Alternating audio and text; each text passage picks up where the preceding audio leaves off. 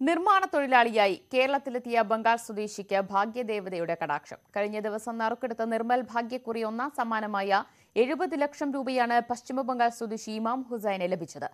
Lottery അടിച്ച വിവരം രഹസ്യമാക്കി സൂക്ഷിച്ച ഇമാം ഹുസൈൻ സമ്മാനാർഹമായ ടിക്കറ്റ് പോലീസിനെ ഏൽപ്പിച്ച ശേഷമാണ് വീട്ടുകാരോടും സുഹൃത്തുക്കളോടും ഈ വിവരം പങ്കുവച്ചത്. അഞ്ചു വർഷമായി പാലക്കാട്ടെ എടത്തനാട്ടുകര കോട്ടപ്പള്ളിയിൽ ജോലി ചെയ്തു വരുന്ന ഇമാം ഹുസൈന്റെ പതിവ് ശീലമാണ്.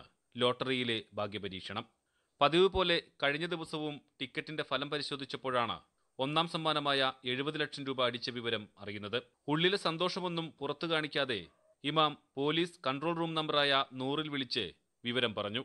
മിനിറ്റുകൾക്കകം നാട്ടുകൽ പോലീസ് സ്റ്റേഷനിൽ നിന്നും സി ഐ സിജോ വർഗീസിന്റെ നേതൃത്വത്തിൽ പോലീസ് എത്തി. ഇമാം ഹുസൈനെ വാഹനത്തിൽ കയറ്റി. അപ്പോഴാണ് നാട്ടുകാരും ലോട്ടറി ഏജന്റുമാരുമെല്ലാം വിവരമറിയുന്നത്. പോലീസിന്റെ സുരക്ഷാ വലയത്തിലായതോടെ ഭാഗ്യദേവിത കടാക്ഷിച്ച വിവരം വീട്ടുകാരെയും ബന്ധുക്കളെയും ഇമാം സന്തോഷപൂർവം വിളിച്ചറിയിച്ചു. കടമെല്ലാം വീട്ടണം. നല്ലൊരു വീട് പണിയണം. ഇനിയുള്ള ലക്ഷ്യങ്ങൾ അതൊക്കെയാണ്. പൈസ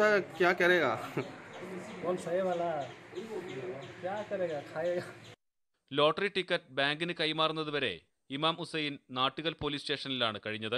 അലനല്ലൂർ കേരള ബാങ്ക് അധികൃതർ വെള്ളിയാഴ്ച രാത്രി തന്നെ സ്റ്റേഷനിലെത്തിയെങ്കിലും സുരക്ഷാ പ്രശ്നങ്ങളുള്ളതിനാൽ ടിക്കറ്റ് കൈമാറിയിരുന്നില്ല. ഇന്നലെയാണ് പോലീസിന്റെ സാന്നിധ്യത്തിൽ ടിക്കറ്റ് കൈമാറിയത്. കഴിഞ്ഞ അഞ്ച് വർഷമായിട്ട് കേരളത്തിലെ പണിയെടുത്ത് ജീവിച്ചു വരികയാണ് ഈ ബംഗാൾ സ്വദേശി. നിരന്തരം ലോട്ടറി ടിക്കറ്റ് എടുക്കുന്ന സ്വഭാവക്കാരാണ് അദ്ദേഹം. അപ്പോൾ അദ്ദേഹം തീർച്ചയായിട്ടും കേരള പോലീസ് അത്രമാത്രം വിശ്വാസം അർപ്പിച്ചതുകൊണ്ടാണ് പോലീസ് ഉടനെ വിളിച്ചു പറഞ്ഞു. അവിടെ പോയി നടത്താനും അദ്ദേഹത്തെ കൊണ്ടുവരാനും ഇന്ന് സുരക്ഷിതമായ ടിക്കറ്റ് കൈമാറാൻ സാധിച്ചത്.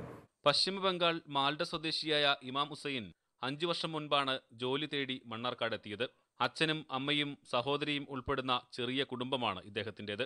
ഒരു വർഷം മുൻപാണ് വിവാഹിതനായത്.